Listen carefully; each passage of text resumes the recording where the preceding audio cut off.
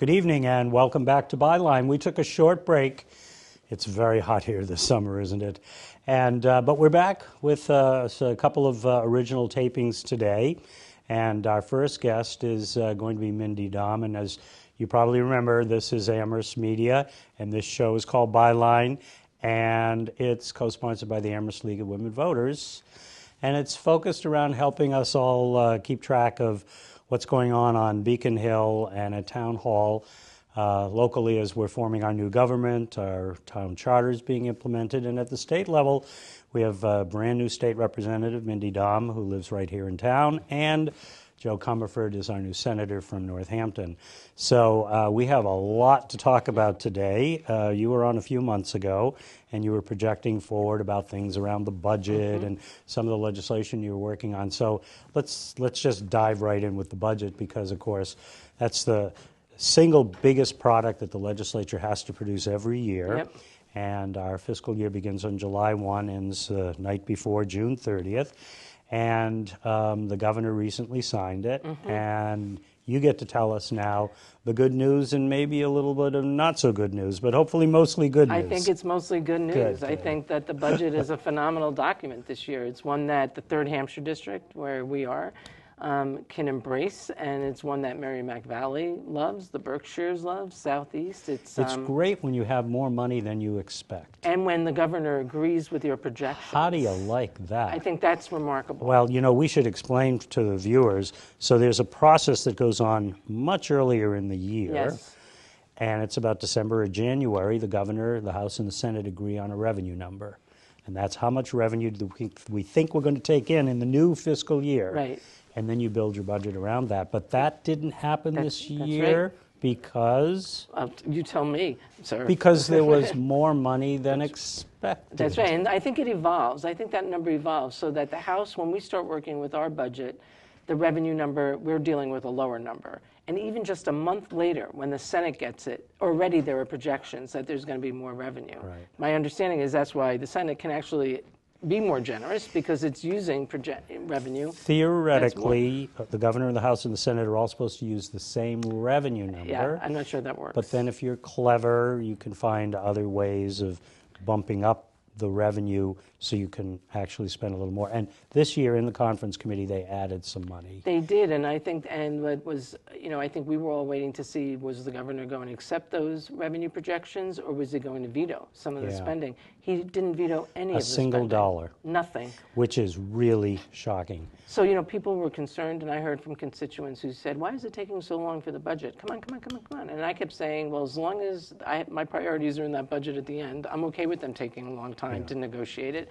But it turned out that the time they took resulted, I think, in a terrific budget and one that was veto-proof. I mean, you know, he didn't come back with anything, so that's a good. Yeah, and, good sign. and, and as a Republican and a fiscal conservative, you would expect him to veto, as he has every one of his previous budgets. He's vetoed hundreds of millions of dollars, and the legislature has done hundreds of overrides. And most of those overrides, the Democrats and Republicans both overrode Uh, yep. the governor. Why? Because they put a balanced budget on his desk.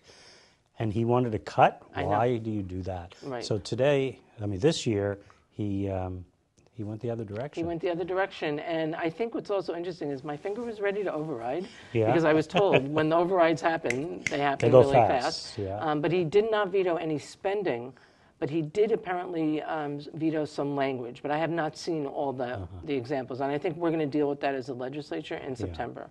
Um, And he might have sent back a few amendments as well Yes. of some of that language. Yes. So some of those you might be able to work out with him instead of doing an override. So and some of them we accepted on Wednesday. So Yeah. um, we So, so tell us what were the highlights from your point of view, given your district, and from your point of view with regard to the statewide interests. So I had two priorities for the district that I think also impact the Commonwealth, but they were for the district. One was UMass Amherst, and the other was regional transit authorities. So UMass Amherst, you may remember, the House came out with a budget um, that provided um, some funding to UMass as a system that would have not only paid for collective bargaining agreements, which I think has not been done for the past couple of years, as well as some additional money. The Senate came out with a budget that's called for an unfunded tuition freeze, and I put that in quotes because an unfunded tuition freeze, in my mind, it was a program cut because somebody has to pay for it. And so if you give UMass an, uh, a requirement saying you can't raise tuition, uh, and we're not giving you any more money, they have to find the money to. And were they fund the barring raise, uh, increase in fees or just tuition? I, the Senate's version was tuition. Only tuition? Yes, and it would have cost about $10.1 million to actually Yeah. pay for that freeze. I Right. Mm-hmm. put in an amendment for that, which was rejected by the House. Um, But that was a big concern, because that was very, two very different budget lines for UMass. And I like to think that, as I said, as long as it took them to negotiate the conference, the result was very good, because UMass did not get the so-called codified tuition freeze. This would have been requiring them, not suggestion. Instead, requiring. there's some kind of reporting language. Yes, but the reporting is around accountability, which as a state-funded agency, they would be subject to anyway. I don't think it was anything different. I'm glad they did that. Yeah. Um, Because if that satisfies the folks that wanted to do the unfunded tuition freeze, that's terrific. But I'm really thrilled that UMass Amherst will not um, suffer any student service cuts, program cuts, um, unemployment, layoffs. I Mm-hmm. mean, that's how it would have looked, you know, that we would have seen student programs that are on a trajectory like this having to be truncated. We would have seen people needing to be laid off. That was not something I wanted to see. Mm-hmm. So I fought hard for that. Um, I'm, you know, I joined a lot of voices in the House around that, and the House leadership um, wanted to make sure that UMass and UMass Amherst was protected. So I'm thrilled with that.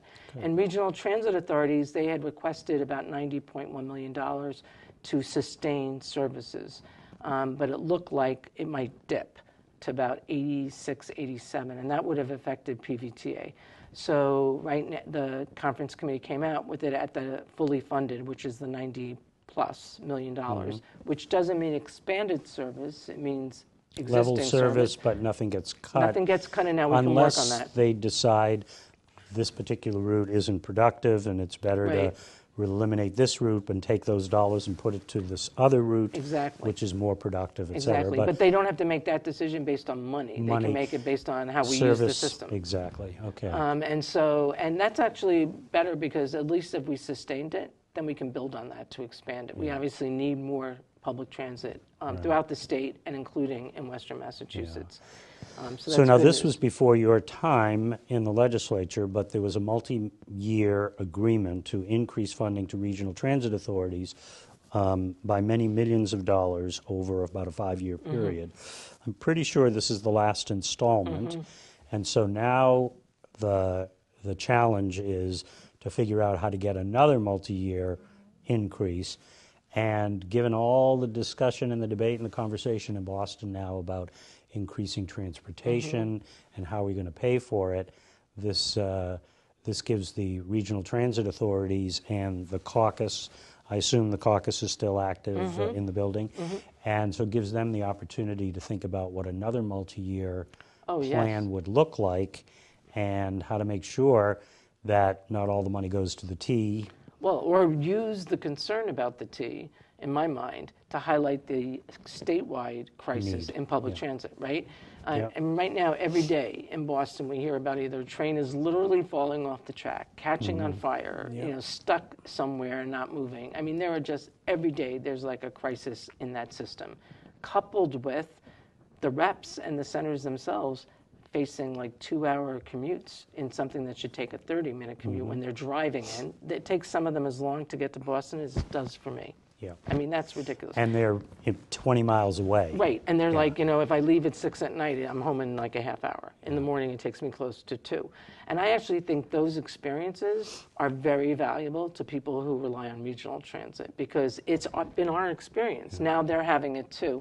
And I think it opens up the conversation to the crisis in public transit coupled with our concern around climate and trying to get you know people to go into trains, into buses, um, into carpools. I think we're at a great moment. We, you know, as a legislature, we've also passed the Fair Share Amendment twice, um, which would put a fee, a four percent fee on incomes of over a million dollars, specifically to go to pay for things like education and transportation. It's not going to be enough. We know it's not going to be enough. So I think we're building uh, momentum for you know recognizing we're in a public transit crisis, and that's how I'm framing it. So when I hear my colleagues talk about the MBTA, I trade their MBTA for one RTA, and we do you know it's sort of like we kind Is of the whole Western. Massachusetts delegation from the Berkshires Mm-hmm. all the way to, let's say, Worcester or so, are they all united on a regional vision for transportation? Oh, And so. therefore organized to basically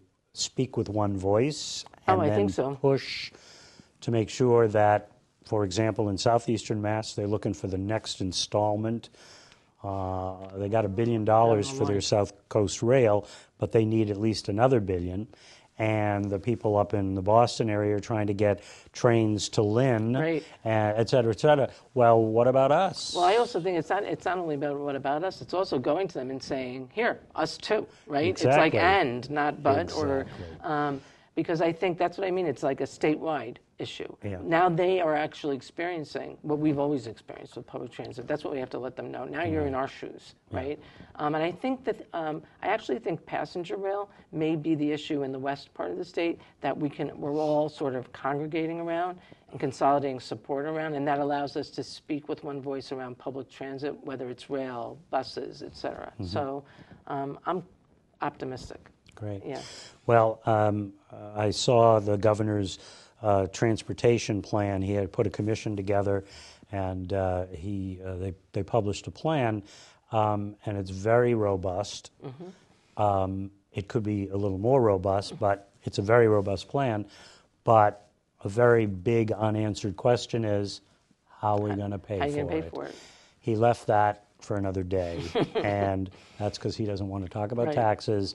And so that means that the members of the legislature have to put on their big boy pants and slacks. And big girl And pants. big girl, I was trying to get the slacks in. So big boy pants and big girl slacks, and work on the taxation question. Absolutely. Because you, there's no free lunch. Absolutely. Like, not gonna- exactly. I mean, there shouldn't be a free lunch. We're never going to get it if we're not prepared to pay for You it. You know, that's been my thing all along. I'm not afraid to raise revenue. I mean, we have a lot of expenses, and in the Third Hampshire District, I hear about those expenses. People are like, we need education, we need transportation. Somebody's got to pay for it. It should be us, right? It's a public It good. has to be us. Um, I, it's But we also have to push Washington to do their job because the majority of all of the gas taxes collected in the country go to the federal government. Right.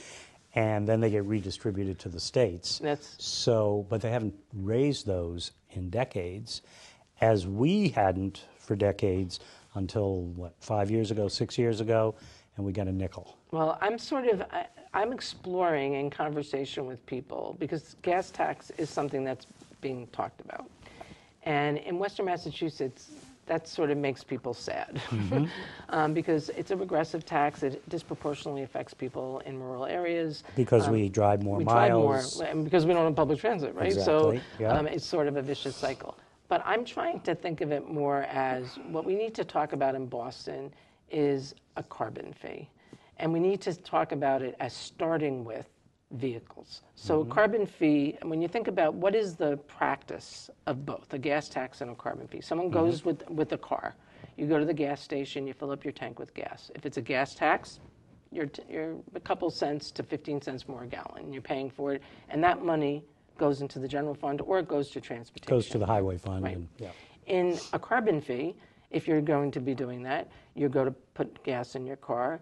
It's more money per gallon, and that money goes specifically to transportation projects that reduce greenhouse gases. Part of it, and part of it comes back to the consumer. And in Western Massachusetts, although there isn't really a taste for a gas tax, there is in the Third Hampshire strong support For for, carbon, a carbon fee. yeah.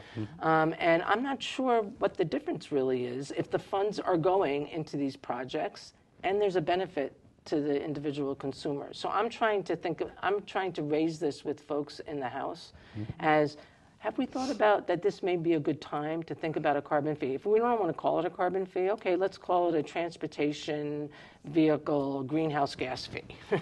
um, but the process of acquiring it seems to be the same as a gas tax, except it's a little bit more targeted to the climate emergency. Mm-hmm. And I think that'd probably be a good thing. So that's what I'm starting to think. And it about. has a secondary benefit because it depresses the demand. That's right. Because of the price price point. It's a disincentive. As the price point goes up, Right. other things look more attractive. Right. And so therefore, it drives you in the direction of reducing the amount of carbon emitted, et cetera, et cetera. Exactly. It's like what we do with cigarettes, right? Yeah. We raise the tax so that So, people don't use it. and another variation on that is the RGGI. Yes. So uh, RGGI, for those who at home who don't uh, know what that is, it's basically uh, a fee that is attached at the wholesale level Mm-hmm. to the price of the inputs for creation of electricity Right.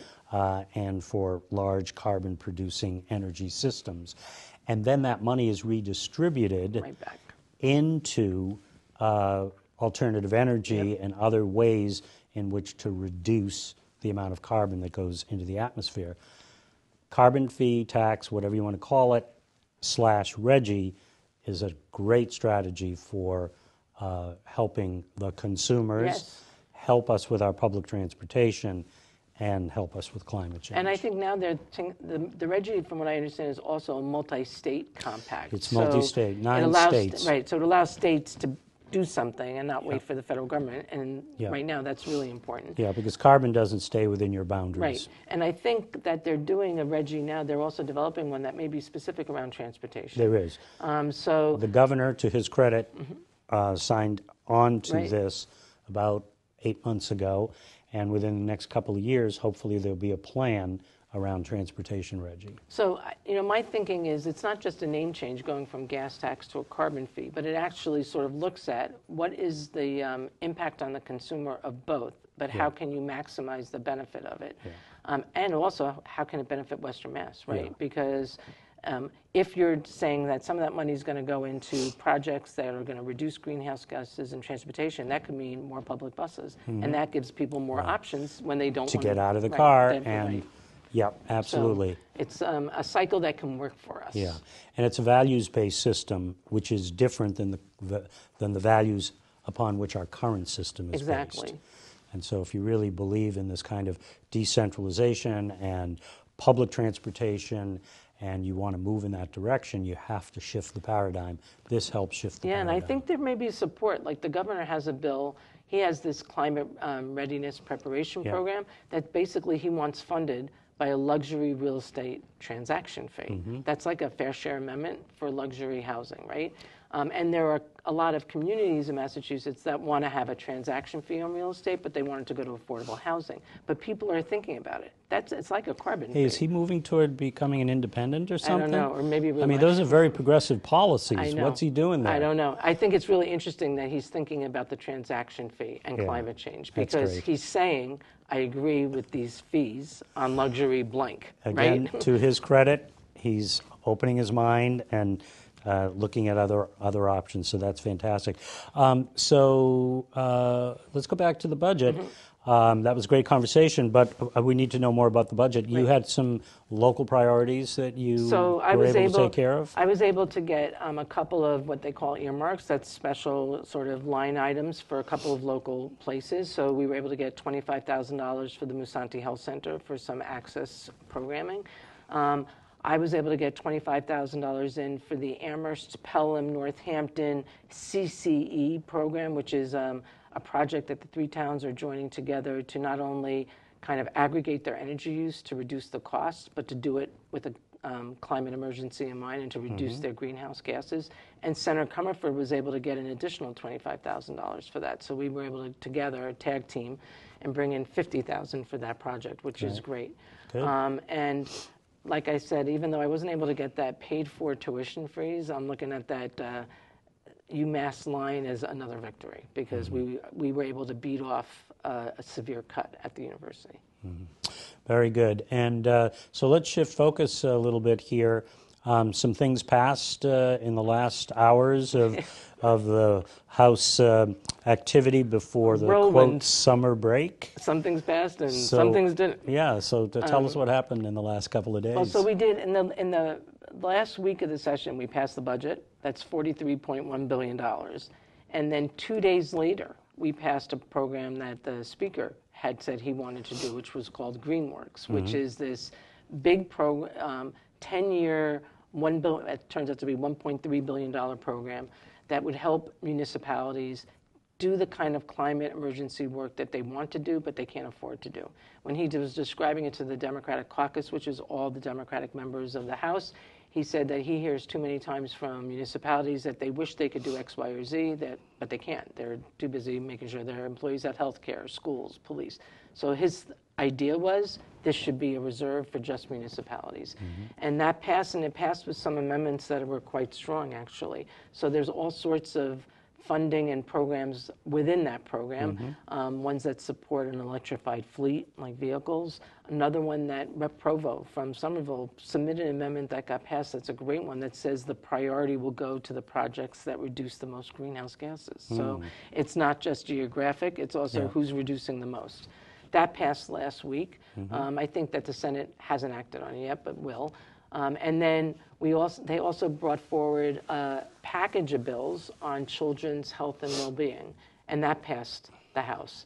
Um, and that included things like health insurance for children who are in DCF custody as they age out. So between 18 and 26, making sure that folks who are in DCF custody continue to get their Don't lose health care. unbelievably important, right? Another one around directories of providers.